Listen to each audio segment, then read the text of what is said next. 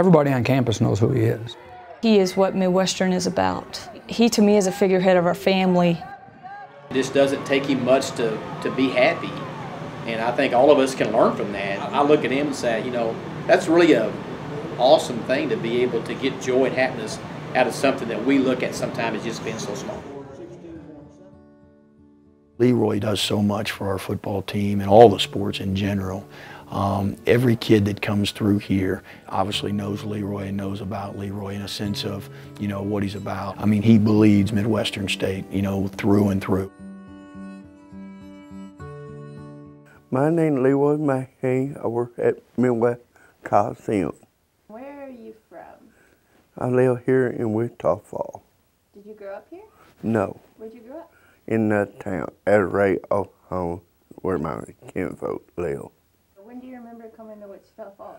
When I was in a group home and I got out my own, I first met Leroy when I was coaching at another school in 2005, not knowing that uh, he would be part of my life for the next 12 years. His cousin um, was the assistant basketball coach here, and Leroy wanted to get more involved with Midwestern State. And I hired Rob McElhaney as my assistant basketball coach, and that's when we really got to know Leroy. Rob kind of became his, uh, he was already his family, but he, Rob kind of started kind of taking care of him in a way and helping him a lot at that time. And then in the process of doing that, a lot of other people got involved in Leroy's life and really helped him as well. And he just kind of became a permanent fixture between the basketball team and football and really, really all sports on campus.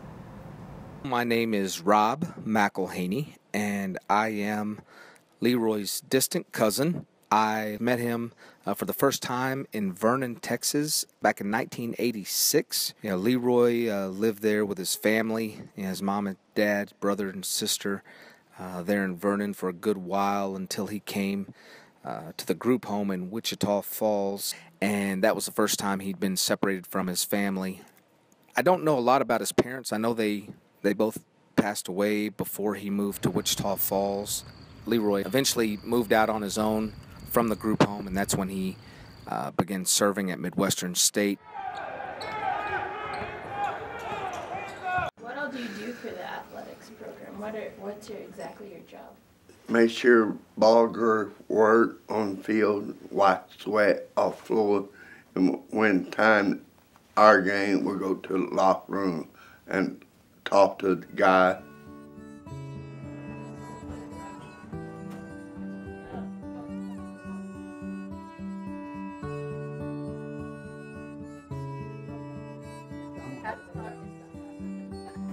I think more than anything with us is, is he's involved in the spiritual side of our team. He loves to pray.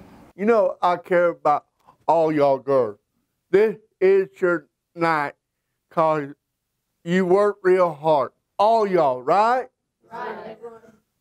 Father, thank you today. Thank for Midwest girls. Work real hard. Lord, I ask you help number 12. All she did this year, and she worked real hard, and she did real good today for all this year. Lord, thank you this day. Jesus' name, amen. It meant a lot when Leroy prayed uh, over our senior night. He's cared a lot about me personally over the, the last five years. He even gave me a little gift for senior night.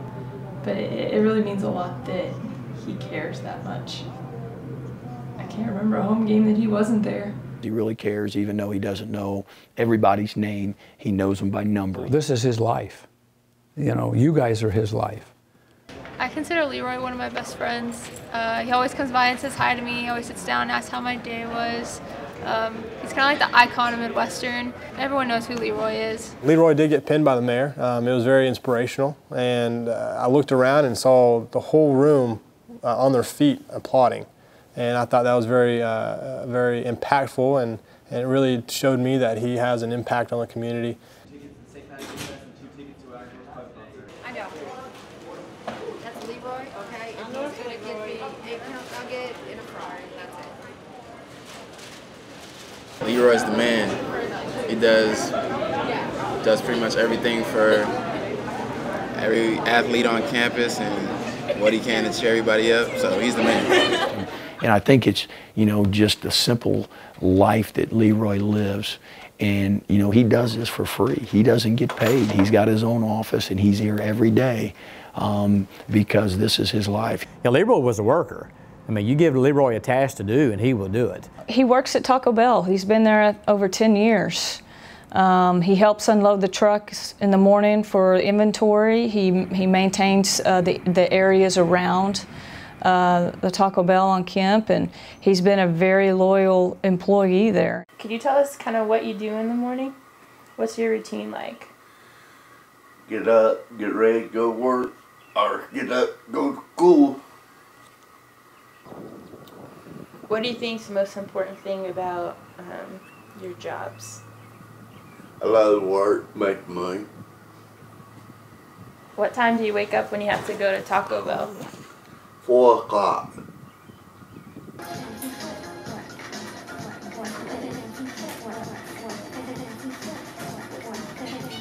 I met Leroy, I don't know, 15 years ago. He's been here about that long.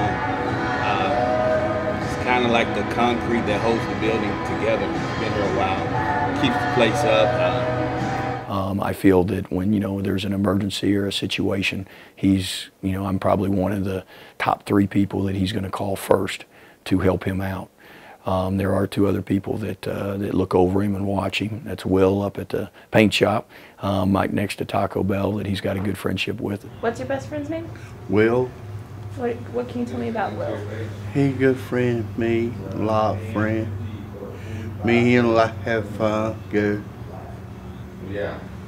Do you come visit him a lot over here? Yeah, when I'm off work.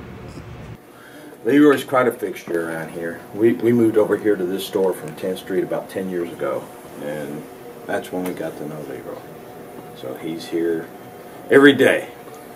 The last couple years, we bring him over to our house on Thanksgiving. My wife and I are a, uh billet family for the amateur hockey team here also. So we bring him over to the house, and I think the favorite thing is usually on Thanksgiving, watching his reactions after he eats. He plays and talks with the hockey boys, and then when the Dallas Cowboy game's on, I think there's two things I see him get emotional about, and that's MSU sports and it's Dallas Cowboys.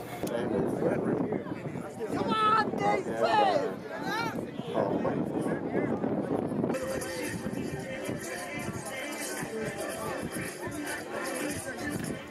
Interesting story when someone was trying to steal his bike. Um, we had just got done with our morning practice before we went into our second practice. And so we were heading over to the cafeteria to eat lunch.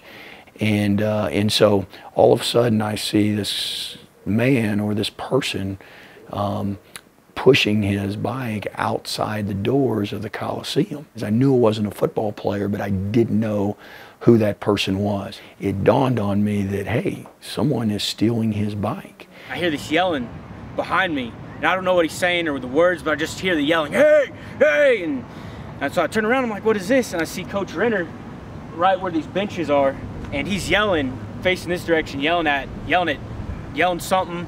And so, but as I turn around, I see this man on, a, on Leroy's bike.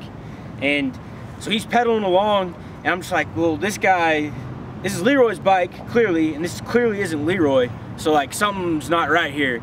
And then it took a few seconds, but once I kind of realized what was happening, um, I kind of stepped in front of the guy, and then he he got off and he took off um, down heading towards uh, Taft. Adam had got him off the bike and he was running, and Adam had tackled him to the ground, and uh, the guy was flailing. Adam had him held around the throat or something, and he was flailing his arms and everything. So, but the only thing I really did was just keep the guy from hitting anybody. I just restrained him, helped hold the guy down until uh, the police arrived. Coach Brent said, this guy stole your bike and want to ask me, you want to file a charge? Yeah, I do want to file a charge.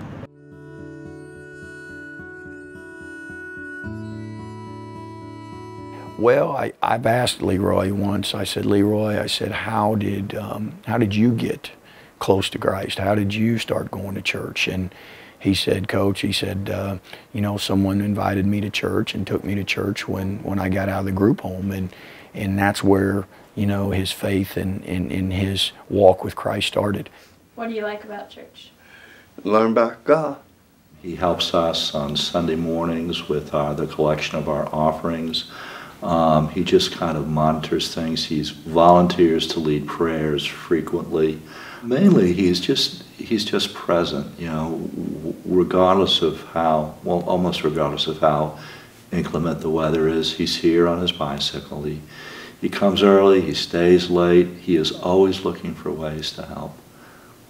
I asked Leroy one time. I said, Leroy, I said. Um, I said, um, you know, what, what, what am I going to do if, uh, you know, when, when something happens to you? And, and, and, and he just said, um, you know what? Uh, he goes, I'll be uh, watching over you. You know, so I think he understands heaven. I think he understands what happens when he passes away, and I think he knows that at some point it's getting closer. Leroy likes to help with funerals, and um, and he will help in any way. He will pass out bulletins. He will volunteer to pray. One of the ones I remember is that we were taking an exceptionally heavy casket uh, to a gravesite, and um, and I grabbed one end, and the other fellows were kind of older gentlemen grabbed one, and they were struggling. And Leroy, without asking permission, just kind of shouldered his way in, grabbed an end, helped carry it stood with the rest of the pallbearers. I think whenever he sees any kind of a need, he wants to respond to it. I love my church. I love all my friends, all the y'all. What's one of the biggest challenges you've had to overcome in your life? Life work all time at school. I like get on, get on my life, get find me somebody right one. You're trying to find the right one? Leroy was married at one time, uh, was married for about a year, and uh, a young lady he had known for, for years, Claire, and eventually they were married, and, and I know that Claire ended up getting sick, and, and uh, she ended up passing away.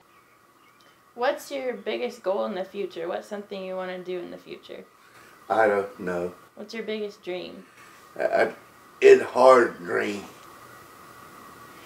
It's hard. Oh. I don't know.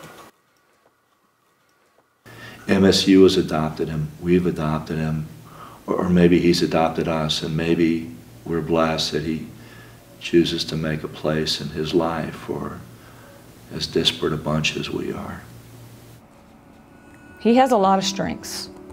I think when you put all those under the umbrella of overcoming those every day, I just, I just see that as he's just so strong-willed and he can just get it done every day. When his cousin left, um, I asked him, I said, are you going to go to Abilene Christian with your cousin? And he said, Coach, I'm a Mustang. I'm not a Wildcat. And so, I mean, he is truly a die-hard Mustang. Is there anything you'd like to see change in this year?